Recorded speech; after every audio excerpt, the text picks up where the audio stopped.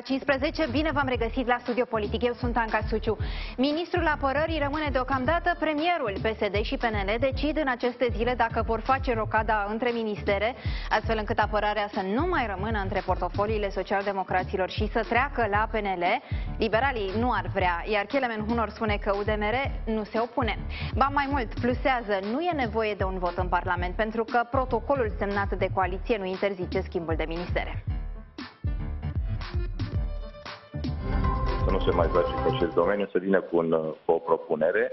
În cazul în care nu pot veni cu o propunere, să informeze coaliția. Dacă cei de la PSD nu uh, găsesc un om în curtea domniilor lor uh, pentru a propune, pentru a ocupa această poziție extrem de importantă, vitală în această perioadă, sigur că PNL este pregătit să vină cu înlocuitori. Și Rareș Bogdan spunea, spre exemplu, că apărarea nu se cedează, nu se împarte, Am înțeles. nu se... Am înțeles. Întotdeauna trebuie să existe și nea Ion de la raion, așa că dar nu înseamnă că eu trebuie să-i răspund. O să venim cu o decizie împreună cât de curând. Nu consider că este o abordare serioasă, un eventual troc. Dar e- are loc o discuție în coaliție. Dacă ei consideră sau cineva consideră de la președinte până la premier și până la președintele PSD-ului, cei care au avut și au portofoliu de la apărare, că nu mai vor sau nu există un om competent uh, în care președintele are încredere și poate lucra cu președintele, se poate face un astfel de schimb, nu e nicio uh, problemă, nu există o astfel de uh, frână sau piedică. În scurt timp, premierul României și secretarul general al NATO vor susține declarații comune la Bruxelles. Le urmărim împreună în direct la Studio Politic. Cei doi oficiali au discutat despre apărarea României, țara de graniță a alianței aflată la câteva zeci de kilometri de războiul din Ucraina. Premierul s-a mai întâlnit astăzi cu șefa Parlamentului European și cu cea a Comisiei Europene, iar Nicolae Ciucă a cerut eliminarea plafonului de 9,4% din PIB, în care trebuie să se încadreze pensiile și a prezentat de asemenea stadiul legilor justiției în speranța obținerii unui raport MCV pozitiv. Toate detaliile le lămurim imediat aici la Studio Politică. Economia mondială se apropie de recesiune, șomajul va rămâne constant în următorul an, dar costul vieții va crește mult în următoarele șase luni. Concluzia reiese dintr-un sondaj Reuters la care au participat economiști în perioada 26 septembrie-25 octombrie. Cei mai mulți cred că în 2023 creșterea globală va încetini, dar își va reveni în 2024. Românii cu rate la bancă ar putea simți fior pe șira spinării în privința previziunii pe care acești analiști fiscali chestionați o fac. Dobânzile vor crește în continuare. Vladimir Putin a convocat două ședințe importante, se întâlnește cu șefii serviciilor secrete și cu membrii Consiliului Rus de Securitate. Ambele conversații au legătură cu exercițiile nucleare în privința cărora Moscova a trimis deja o notificare către Statele Unite. Aflăm și detaliile de la jurnalistul Digi24, Alin Borcea. Te ascultăm, Alin.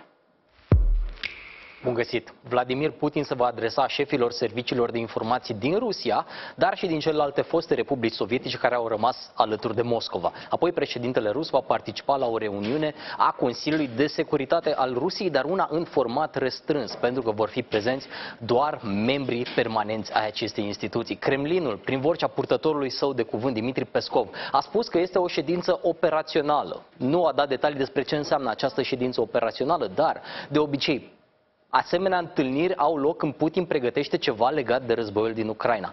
Acum sunt două lucruri importante, majore pe agenda Rusiei. Pe de o parte sunt exercițiile nucleare care pot avea loc în orice moment. Notificarea transmisă Statelor Unite spune că rachetele pot zbura oricând începând de astăzi. Purtătorul de cuvânt al lui Putin a spus că detalii vor urma în viitorul apropiat, nu se știe deocamdată dacă președintele rus va asista sau nu la aceste trageri. Pe de altă parte, sunt amenințările cu așa numită bombă murdară. Sergei Shoigu a vorbit astăzi cu omologii din China și din India să-i avertizeze că ucrainenii ar plănui așa ceva. Dar această amenințare a fost complet negată de Kiev și de Occident, care a fost avertizat întâi de către Sergei Shoigu. De asemenea, urmează un alt important moment mâine, când Putin va vorbi la Clubul Valdai, un important think tank din Rusia. Și mai important, va răspunde la întrebări de la participanți și de la membrii publicului. Este o ocazie foarte bună să dea detalii în privința planurilor sale legate de războiul din Ucraina, mai ales acum că se apropie iarna. Mulțumim, Alin, pentru toate aceste informații. Le vom comenta alături de noi Andrei Țăranu, politolog. Mulțumesc tare mult că sunteți alături de noi la Studio Politic. Vă propun să ne uităm mai întâi înspre această întâlnire pe care premierul o are la Bruxelles, întâlniri pe care premierul le are la Bruxelles, pentru că sunt câteva chestiuni importante pentru noi și sunt multe. Pare așa că s-au strâns o serie de subiecte, merge premierul la Bruxelles și așteptăm acum concluziile. Vorbim inclusiv de Schengen, de apărarea României, Marea Neagră, obiectiv strategic pentru NATO. Ce înseamnă acest lucru pe Uh, de aici înainte, iar mai apoi să ne uităm la războiul din Ucraina, acolo unde specialiștii vorbesc de o escaladare și că Rusia își caută un pretext în această notă. Întâlnirile de la Bruxelles. Așteptăm și declarații comune cu secretarul general al NATO ale premierului. Haideți să începem întâi cu NATO și probabil o să ajungem și apoi și la Comisia Europeană. E un moment important pentru că România încearcă și este, fără discuții, să devină un pol de securitate în zona de sud-est a Europei și în bazinul Mării Negre. Și asta în condițiile în care, iată, în Bulgaria, asistăm de mai bine de 2 ani la un nesfârșit scandal politic și la un blocaj a patra alegere anticipată, au avut, alegeri anticipate au avut loc uh, acum câteva săptămâni, în urma lor nu s-a obținut un guvern și probabil vom asista la a cincea rundă de alegeri anticipate. Deci uh, Bulgaria este într-o situație extrem de complicată din foarte multe puncte de vedere, economic, politic, militar, pentru că bună parte dintre partidele bulgare sunt mai degrabă în favoarea uh, Rusiei și nu neapărat împotriva ei. Relația dintre Grecia și Turcia devine tot mai complicată și, după cum știți, sunt tot mai dese reacțiile lui Erdogan la adresa Greciei, așa că, cel puțin din partea asta a Turciei, lucrurile nu sunt foarte ușor de decelat din partea NATO, mai ales că uh, Turcia a rămas și oarecum singura canal, singurul canal de negociere între Ucraina și Rusia pe domenii mai degrabă punctuale. Și atunci singurul loc în care mai există stabilitate la Marea Neagră și pe tot flancul ăsta este România.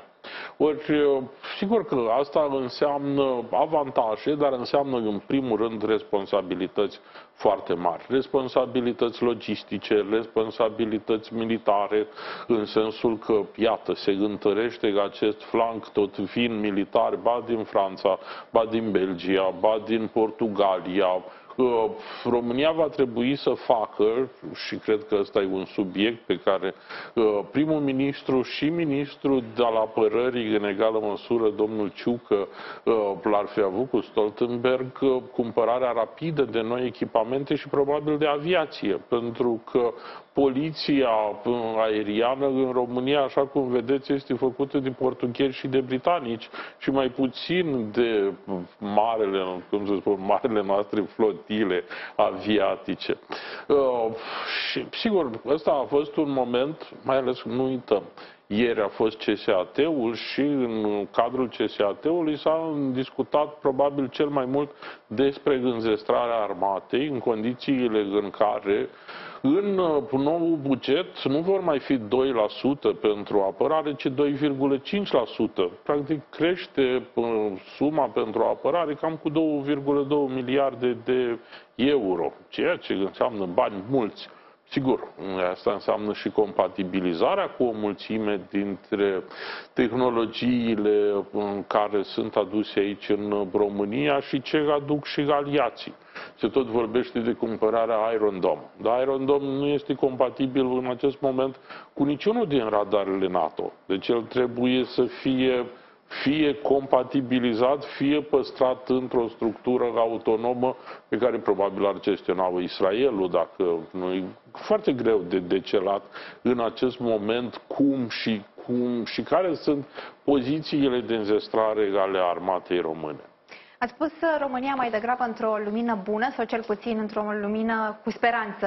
Am fi stabili în această parte a Europei, chiar dacă nu avem un ministru plin la apărare. Prejudiciile uh, pot fi cuantificate ale declarațiilor pe care le-a făcut Vasile Dâncu, mai apoi demisia a dus uh, în vreun fel România uh, în rândul statelor care reacționează conform cu politica NATO? Acum depinde, repet, cum discutăm aceste prejudicii. Ați văzut că uh, nu mai departe decât uh, ieri, teoretic, uh, Macron i-ar fi cerut, ar fi cerut o rundă de negocieri între Statele Unite și Rusia.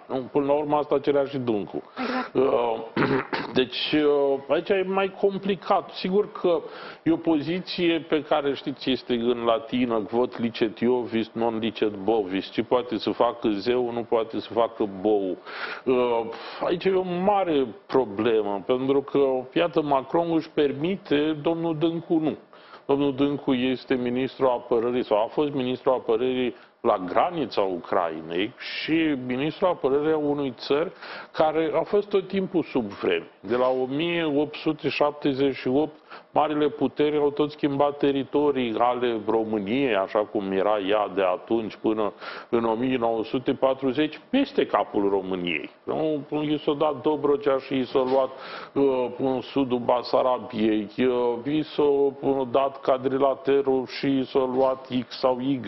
În 1940 i s-a luat, uh, i s-a luat Basarabia, nord-vestul Transilvaniei și așa mai departe. Deci, marile puteri și-au făcut totdeauna jocurile când dau una micilor state. Ucraina nu e un stat mic, dar este în această situație de stat mic. Ori un intelectual, un profesor de sociologie, absolvent de facultate de istorie și filozofie, ca domnul Dâncu, ar fi trebuit să știe că el nu-și poate permite ceea ce își poate permite Emmanuel Macron. Deci, damage controlul cred că a fost rezolvat odată cu demisia. Și cu haina sau cu istoricul militar pe care îl are Nicolae Ciucă, probabil deocamdată. Uh, Schengenul, e într-adevăr sau e reală, e palpabilă această încredere pe care o are România după 11 ani de a spera să intre în Schengen după ce olandezii au votat în Parlamentul lor faptul că nu vor susține România. Sunt alegeri acolo. Marc Rutte ar putea uh, să-și vadă mai degrabă de interesul din propria țară decât de păi interesul României. Ne afectează inter... asta? Fără discuții că ne afectează, dacă îi să o luăm așa în general, global. Uh, e clar că Olanda va spune nu. Iar pentru Schengen votul este politic.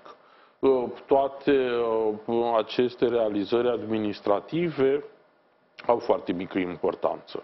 Cel mult, dacă vreți, tot politic avem această majoritate mare, o majoritate mare în favoarea României și a aderării acesteia la Schengen din partea Parlamentului European și susținerea quasi necondiționată a Comisiei Europene.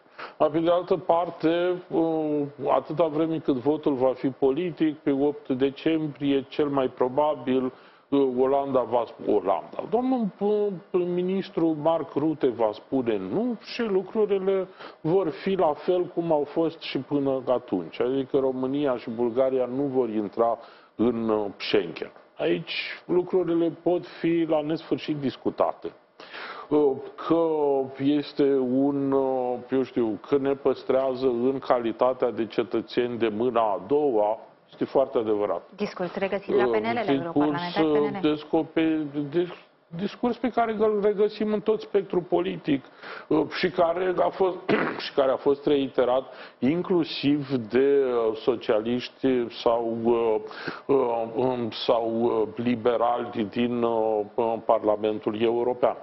Însă aici lucrurile sunt puțin mai complicate. Dacă ne uităm strict la ceea ce a realizat România, trebuie să recunoaștem că sunt multe lucruri care au fost lăsate și s-au uitate. Și mai este un lucru.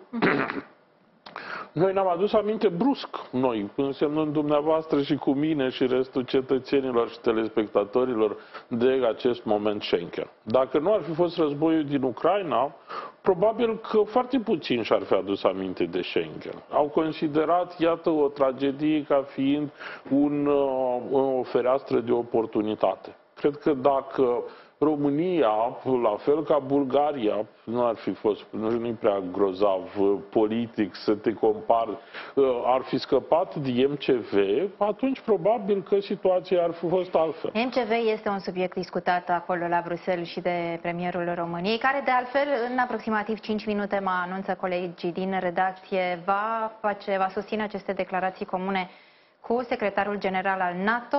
Ce urmărim acum în imagine este locul din care vor fi făcute aceste declarații. E important faptul că secretarul general al NATO vorbește cu România într-un moment în care s-a consultat și cu Statele Unite ale Americii și cu UK după amenințările Rusiei că Ucraina ar putea folosi bomba murdară. A răspuns Jens Stoltenberg în urmă cu aproximativ o oră că de fapt ceea ce încearcă Rusia acum este să găsească pretexte pentru a escalada conflictul. Din perspectiva aceasta, România la granița războiului, la ce vă așteptați din informațiile strânse până în acest moment? Păi, România nu cred că va avea o politică diferită decât cea pe care a avut-o în acest moment. Sprijinul pe care îl acordă Ucrainei este discret, dar substanțial. Uh, și uh, din acest motiv nu cred că va face declarații belicoase, având în vedere situația complicată din această zonă. Vorbim de Transnistria, vorbim de Marea Neagră, vorbim de apropierea practic de Crimea, în ciuda ceea ce crede toată lumea. România teoretic are o graniță, e adevărat, prin apele internaționale cu Federația Rusă, prin Crimea. Crimea care este, fără discuții, un subiect, din nou, discutabil din punct de vedere al dreptului internațional și a faptului că este ocupată de Federația Rusă.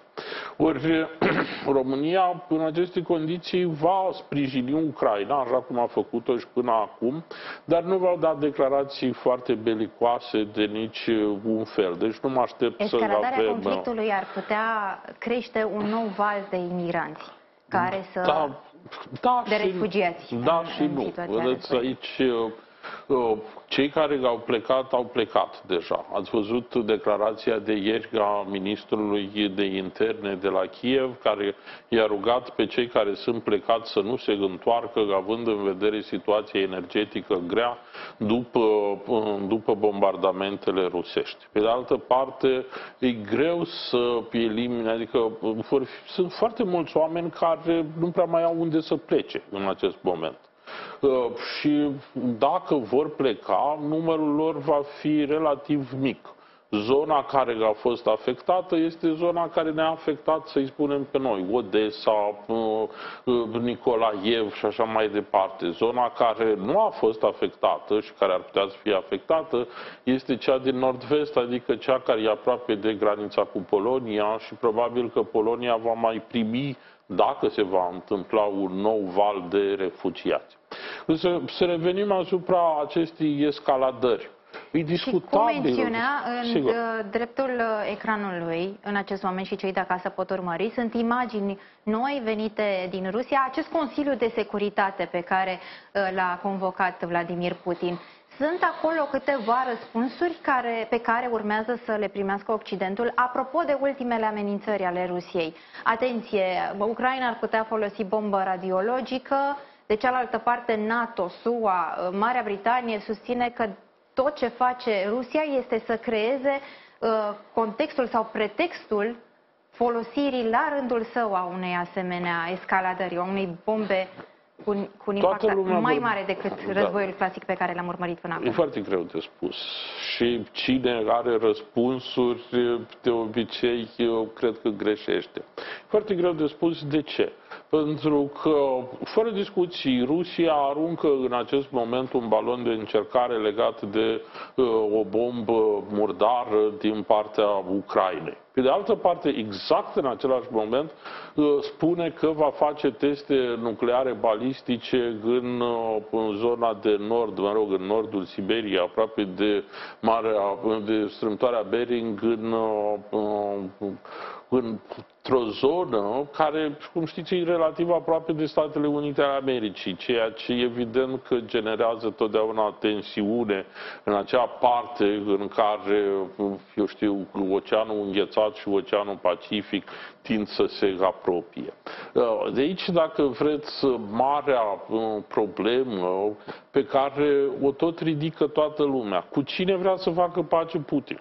Putin vorbește în ultima vreme că este interesat pe diverse canale să facă pace, iată, spuneam la început de ceea ce spunea președintele Macron, uh, dar uh, el vrea să facă pace cu Statele Unite. Din câte știm, nu e în război cu Statele Unite. Domnule Țăranu, vă propun pentru a reuși să urmărim și declarația comună pe care în scurt timp premierul României și secretarul general al NATO le vor face la Bruxelles. Le urmărim împreună în direct la Digi24. Pauză acum și revenim la această discuție. Și mai departe. NATO nu va fi intimidată și nu va, și, și va continua să susțină Ucraina cât este nevoie. În fiecare săptămână, cu care, în fiecare săptămână, forțele ucrainene devin mai puternice. În același timp, continuăm să întărim propria apărare, întărim prezența NATO de la Marea Neagră la Marea Baltică, avioane din Canada păstrează siguranța spațiului aerian european, iar mii de soldați francezi, belgieni, olandezi și americani sunt în, Olanda, sunt în România ca să respingă orice agresiune. Transmite aceste lucruri, transmite un mesaj clar. NATO este pregătită să apere România, dar și toți ceilalți aliați. Astăzi am vorbit despre situația de la Marea Neagră, de importanță strategică vitală pentru NATO. Trei aliați NATO sunt state care au ieșire la Marea Neagră, dar și partenerii noștri Ucraina și Georgia. Războiul pornit de Rusia a transformat parți din Marea Neagră în zone de război. Rachete lansate de nave din Marea Neagră au lovit orașe ucrainene, iar de luni de zile forțe ruse au blocat porturi ucrainene și au provocat cea mai gravă criză alimentară din, ultimele, din ultimii ani. Îndemnăm Rusia să reînnoiască acordul privind cerealele negociat de Turcia astfel încât mâncarea să ajungă la cei care au nevoie de ea. Domnule premier, domnule premier, vă mulțumesc din nou pentru contribuțiile numeroase ale României la NATO și mă bucur să fiu la București în câteva săptămâni. Vă mulțumesc, domnule secretar general. Apreciez întâlnirea noastră de astăzi. Sunt foarte bucuros să fiu la Bruxelles la mai puțin de un an de la ultima discuție pe care am avut în acest format, apreciez discuția consistentă de astăzi pe teme foarte importante pentru alianța noastră. Am discutat despre amenințările și provocările de securitate din regiunea Mării Negre, recunoscută ca zonă de importanță strategică pentru alianță prin noul concept strategic al NATO. Securitatea în regiune continuă să fie afectată de războiul ilegal de agresiune dus de Rusia împotriva Ucrainei. Am exprimat îngrijorarea despre efectele ample pe care comportamentul agresiv și responsabil al Rusiei le poate avea pentru securitatea euroatlantică și stabilitatea globală pe termen lung. Având în vedere dinamica ridicată a acestor evoluții, cât și impredictibilitatea comportamentului Rusiei, am cerut NATO să monitorizeze atent situația de la Marea Neagră. Acest război arată că România a menținut de, menține de multă vreme relevanța strategică a Mării Negre pentru interesele majore de securitate ale alianței. Astfel, implementarea deciziilor adoptate la Madrid pentru consolidarea fermă și durabilă a posturii aliate, inclusiv pe flancul estic și în țara noastră, este crucială. Crearea grupului de luptă condus de Franța, la care contribuie soldați din Olanda și Belgia, reprezintă o materializare a acestor decizii și o și a unității care caracterizează alianța noastră. Profit de acest prilej să mulțumesc Franței, Olandei și Belgiei pentru implicarea și solidaritatea arătată cu România, dar și Statele Unite pentru prezența lor din România. Am apreciat rolul activ și implicarea substanțială a secretarului general în adoptarea unor decizii vizionare în sprijinul securității euroatlantice și am încurajat continuarea acestor eforturi în perioada următoare pentru implementarea deciziilor adoptate.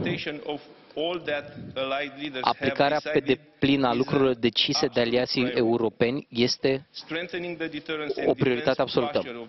Consolidarea posturii de descurajare și apărare a NATO într-o manieră unitară și coerentă este esențială ca alianța să poată răspunde prompt și eficient la toate amenințările cu care se confruntă.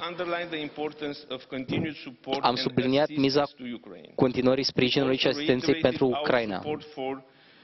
De asemenea, am reiterat sprijinul pentru integrarea euroatlantică a Ucrainei, asumat încă din 2008 la summitul de la București. Am accentuat de asemenea că Republica Moldova și Georgia, partenerii noștri cei mai vulnerabili ca efect al războiului Rusiei contra Ucrainei, au nevoie de susținerea noastră. În acest sens, am prezentat decizia României de a contribui financiar la fondurile voluntare NATO dedicate acestor state cu 1,3 milioane de dolari. 400 de mii pentru Ucraina, 600 de mii pentru Republica Moldova și 300 de mii de dolari pentru Georgia. Toate aceste contribuții reprezintă o reflectare a importanței speciale acordate de România politicii NATO de parteneriate. Român, România rămâne pe deplin angajată să își respecte toate obligațiile și continuă să fie un contributor activ la promovarea securității stabilității euroatlantice. Creșterea bugetului de apărare la 2,5% din PIB este un pas concret în acest sens, în spiritul solidarității aliate. Am menționat de asemenea și importanța importanța viitoarei reuniuni ministeriale a NATO care va fi la București la finalul lunii noiembrie din acest an. Decizia ca România să fie statul gazdă reprezintă o recunoaștere a rolului activ, a relevanței și aprecierii de care țara noastră se bucură în NATO. Îi mulțumesc încă o dată secretarului general pentru discuția de astăzi și doresc să reiterez angajamentul de a continua dialogul substanțial și cooperare eficientă în îndeplinirea obiectivelor noastre comune legate de securitatea spațiului euroatlantic. Hello, my name is Vlad Ungar, news reporter, Romanian Public Television. My first question is for Secretary General. Prima întrebare este pentru domnul secretar general. Cum va evolua războiul din Ucraina în următoarea perioadă? Se va termina până la finalul anului sau va fi înghețat în acest moment. Războaiele, prin natura lor, sunt imprevizibile. Dar am văzut în ultimele săptămâni și luni că ucrainenii au obținut avantaje semnificative. În primul rând, au reușit să respingă trupele rusești din nord, din jurul Kievului. Apoi au oprit ofensiva rusească în Donbass și au reușit să dea înapoi forțele ruse de acolo, să elibereze teritorii în Harkov și Donbass și acum și în sud. Sunt exemple ale curajului forțelor armate ucrainene și le respectăm foarte mult, cât și pe, cât și pe cetățenii ucraineni și liderii Ucrainei. Bineînțeles, sprijin sprijinul din partea NATO și partenerilor NATO. au, um, au, fost, au fost parte acestui succes acestor uh, lucruri pe care Ucraina l-a făcut în ultimele săptămâni și luni. Și nu trebuie să uităm, războiul n-a început în februarie, războiul a început în 2014. Atunci, președintele Putin a anexat ilegal Crimea și a început să controleze partea de est a Donbassului. Ce s-a întâmplat în februarie? A fost o escaladare la scară largă, un, ră, un război de agresiune la scară largă pornit de Rusia împotriva Ucrainei. Nu voi, nu voi specula cât ar putea să dureze acest război, dar vreau să spun două lucruri. Noi suntem gata să susținem Ucraina atât timp cât va fi nevoie.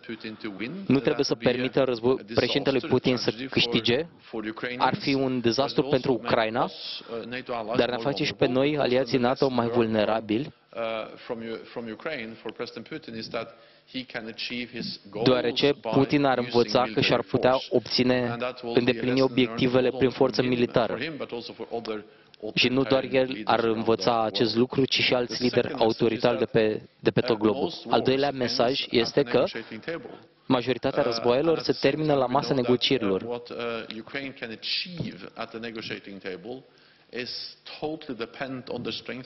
Ce poate să obțină Ucraina la masa negocierilor depinde de forța sa pe câmpul de luptă. Trebuie să întărim poziția de la masa negocierilor prin oferirea de sprijin militar. Exact asta fac liderii aliați ca să maximizăm posibilitatea unui rezultat acceptabil pentru Ucraina și să minimizăm perioada de timp până o să ajungem la acest rezultat. Cu cât Ucraina este mai puternică pe front, cu atât cresc șansele să avem o soluție politică care să asigure că Ucraina rămâne un stat suveran în Europa. Okay, we'll go to Euronews. Here. Just behind you. Mr. Secretary, you said recently NATO will help uh, Domnul secretar general, a spus recent că NATO va ajuta Finlanda și Suedia dacă sunt amenințate. De ce se teme alianța? What are the alliances worries about Finland and Sweden de ce se, care sunt îngrijorările alianței față de Suedia și Finlanda și faptului că acest proces de aderare întârzie din cauza Ungariei. În primul rând, toți aliații NATO, toți cei 30 de aliați NATO au luat o decizie istorică în iunie în acest an la summitul de la Madrid. Se invită Finlanda și Suedia să devină aliați NATO. Atunci a semnat protocolul de aderare Uh, noi toți cei 30 de aliați, până acum 28 uh, de aliați au ratificat deja protocolul de aderare. Până acum a fost cel mai rapid proces de aderare din istoria modernă a NATO. La doar câteva, au trecut doar câteva săptămâni de când Finlanda și Suedia au aplicat și au semnat protocolul de aderare. Um, um, Recent, Ungaria a spus clar uh, uh, că ratificarea este pe agenda uh, Parlamentului în această toamnă. De asemenea, mă bucură faptul că Finlanda, Suedia și Turcia um, uh, lucrează pentru implementarea memorandumului comun la care au ajuns ca să consolideze lupta cu terorismul internațional. Suedia a spus clar că nu există restricții privind exportul de arme către Turcia și să, o, vor să creeze și un mecanism permanent un, ca să lucreze mai aproape împreună, ca să facă schimb de informații și să ajute la lupta cu terorismul internațional. Sunt încrezător că toți aliații vor semna protocolul de aderare. De asemenea, mă bucură și faptul că Finlanda și Suedia sunt în contact strâns cu Turcia. Premierul Suediei a fost recent aici, am discutat firește și procesul de aderare. Premierul Suediei va merge în Turcia să întâlnească cu președintele Erdogan. În viitor, voi merge și eu în viitorul apropiat în Turcia să mă întâlnesc cu președintele Erdogan. Suntem în contact permanent cu Finlanda și Suedia, dar și suntem în contact la toate nivelurile cu aliatul nostru, Turcia. Ce am spus și ce și rămân în continuare valid acest mesaj. Finlanda și Suedia sunt în, sunt într-un loc mai vulnerabil acum decât erau când atunci când au într-un loc mai bun acum decât atunci când au aplicat, deoarece aliații au dat garanții de securitate ca parte a acestui proces de aderare. Finlanda și Suedia participă la activitățile NATO, civile și militare, deopotrivă. De asemenea, dacă ar fi orice fel de presiune împotriva Finlandei și Suediei,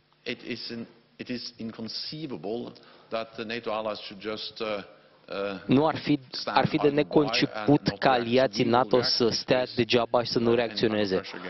Am, vom reacționa dacă va fi orice fel de presiune asupra Finlandei și Suediei. Am revenit la studio politic, am ascultat declarațiile de la Bruxelles ale premierului împreună cu secretarul general al NATO. Premierul are mai multe întâlniri la, la Bruxelles acolo și cu șefa Comisiei Europene de pildă pentru că se discută inclusiv de PNRR. De faptul că se negociază o majorare a pensiilor și susține acum guvernul și pentru prima dată premierul României face această mențiune. 9,4% plafonul acela ar trebui eliminat astfel încât pensiile să fie majorate. Era mai degrabă o retorică a Partidului Social Democrat care nu a fost împărtășită de PNL. De, PNL. de cealaltă parte însă sunt multe subiecte. Aderarea României la Schengen, ridicarea MCV și înzestrarea armatei printre aceste subiecte. Alături de noi Andrei Țăranu, politolog și mulțumesc că e în continuare alături de noi. MCV, nu am trecut prin acest subiect. E acest mecanism de cooperare și verificare unul care să își trăiască ultimele zile pentru România, o retorică pe care am regăsit-o între parlamentarii români acum. Eu nu sunt jurist și sunt puțini juriști care pot, pot să judece felul în care va fi raportul din noiembrie anul acesta. Însă, din ceea ce am citit, legile justiției care tocmai au trecut Uh, de Parlament nu sunt sau nu ridică un optimism foarte mare că MCV-ul uh, va fi ridicat. Toată lumea s-a mirat, inclusiv eu, uh, de faptul că putea statul român să mai aștepte puțin până veneau, până veneau recomandările Comisiei de la Veneția și dacă aceste recomandări, oricum ar fi fost, puteau fi prinse în acest pachet de uh, legi ale justiției. În felul ăsta, grăbindu-ne în ideea că MCV-ul este din nou politic, ceea ce nu este de data asta, uh, va uh, genera, să-i spunem, sau s-ar putea să fie păstrat în dauna noastră. Pentru că, a nu se uita, România este ultimul stat care mai are MCV. Au fost două state care au avut MCV, Bulgaria și România. Bulgaria a reușit de anul trecut, din 1 ianuarie, să nu mai fie în acest proces. Singura țară care a rămas cu această tinichea, putem să-i spunem, de coadă, este România. Și este o tinichea rușinoasă care arată că, de fapt, reformele în ceea ce privește statul de drept, în ceea ce privește independența justiției, nu s-au petrecut. Ori o democrație înseamnă, printre altele, și separația puterilor în stat. Ori faptul că aici, cel puțin, România seamănă cu Polonia și Ungaria, sunt diverse structuri ale statului care, iată, intervin în actul de justiție, nu dă deloc o notă foarte bună României, iar pe indexul, uh, indexul democrațiilor, România stă mai prost decât Polonia, ceea ce nici măcar nu-i drept. Uh, și asta, asta toate vin din, această, din acest motiv de IMCV. Ascultându-vă, domnule Țăranu, n-am cum să nu remarc faptul că s-a creat așa o emoție în privința aderării României la Schengen, în privința faptului că am putea scăpa de MCV, o emoție care a fost uh, amplificată de declarațiile mai întâi ale ministrului Lucian Bode, ministrul de interne. El a fost primul care a spus că avem șanse. Rareș Bogdan. Rareș Bogdan, europarlamentar PNL, președintele României, Claus Iohannis a spus că avem șanse rezervat, mai rezervat decât ceilalți doi, la fel și premierul. Acești uh, parlamentari, politicieni, uh, ministrul de interne care au creat această emoție și uh, această speranță că de data aceasta, după un deceniu și mai bine de așteptare, am putea adera la Schengen, n-ar trebui în vreun fel mustrați dacă nu se întâmplă? cine să-i mustreze. E greu de crezut că vor fi mustrați, se vor mustra ei între ei. Marea greșeală politică au fost că au ridicat acest val. Așa cum L-au creat spun, tocmai ca să acopere nu, alte subiecte? L-au creat spun, artificial anual, sau ei cred în... Anual există o întâlnire la Comisiei JAI și anual se discută despre Schengen. Uh, România de 11 ani îndeplinește criteriile. Putea să se întâmple și în 2012 sau în 2016. Însă, de o bună bucată de vreme, România nu a mai fost interesată. Însă acum l-au gândit ca fiind, cum spuneam, un fel de fereastră de oportunitate, având în vedere conflictul din Ucraina și ideea că ar putea să strângă niște puncte politice, având în vedere că situația economică și socială în România nu-i grozavă și nici nu se pregătește sau nu se prevede că va fi una grozavă în iarnă. Și atunci, pentru a avea, să-i spunem, un motiv de laudă, îi spune, domnule, am avut probleme, dar iată, am reușit să intrăm în Schengen. În, în momentul în care însă nu vom intra în Schengen, retorica se va schimba și va redeveni internă. Iată, este cea cu pensiile. Președintele a spus că n-ar fi rău să crească la 15% și de acolo toată lumea a început să gândească care ar putea să fie noile formule care nu rezolvă de fapt problema pensionarilor pentru că inflația este 15%. În ultimă instanță această creștere nu face decât să echilibreze cu inflația uh, veniturile pensionarilor. Uh, vom vedea ce Și dacă ne gândim că există o lege care prevede ca pensiile să fie indexate, Sigur. la nivelul deci, inflației n-ar însemna decât nimic. că respectă legea exact, cu acest exact. 15%. Însă, uh, lucru interesant pe care l-ați pomenit și care într-adevăr e interesant este această negociere a PNRR-ului. Vă aduceți aminte că anul trecut se spunea că PNRR-ul este așa un bloc de granit care nu poate să fie în niciun fel modificat. Iată că se poate. Lucru pe care l-am spus anul trecut și l-au spus mai mulți orice negociere este o negociere. Dar deci pentru că mai avem puține minute, haideți să traducem ei. și acest plafon de 9,4%, pentru că deja a fost preluat de către Partidul Social Democrat ca fiind o victorie a lor. Socialdemocrații sunt cei care au cerut eliminarea acestui plafon pe motiv că nu există altă țară care să aibă un plafon de majorat. Ce înseamnă 9,4%? Te încadrezi acolo cu tot ce înseamnă pensia românului de rând, care contribuie inclusiv și cu pensiile speciale. Exact, inclusiv cu, speci, cu pensiile speciale. Ori ei nu spun asta. Ori ei spun că avem, având acest plafon de 9,4%, nu spun că ar trebui să facă curățenie în pensiile speciale, ci spun că nu mai pot majora pensiile. Da, dar aici e o, o întreagă discuție legată de aceste pensii pe care noi le numim speciale. Vedeți? Uh, una, e, un, e un complex, dacă vreți, Și mai avem discuții. un minut de emisie, așa că vă da, deci, Gândiți-vă rapid că, de fapt, nici în acest moment pensiile militarilor nu sunt considerate ca fiind pensii speciale, deși militarii nu au contribuit cu nimic la, eu știu, la uh, sistemul de pensii, ei având un sistem separat. La fel și cei din justiție și așa mai departe.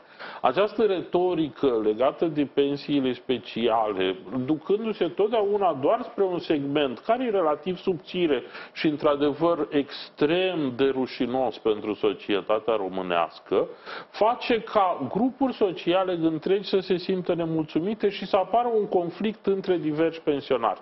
Ori politicienii speculează această, acest conflict pentru a obține puncte politice și unele dintre ele au fost, iată, în PNRR-ul de care discutam. Mulțumesc tare mult pentru analiza plăcere. dumneavoastră. Andrei Țăranu, politolog, în direct la studioul politic. Am ajuns la final. Vă mulțumesc pentru atenție. Urmează știrile zilei cu Teodora Tom pe acum. Noi ne revedem mâine de la aceeași oră, ora 15.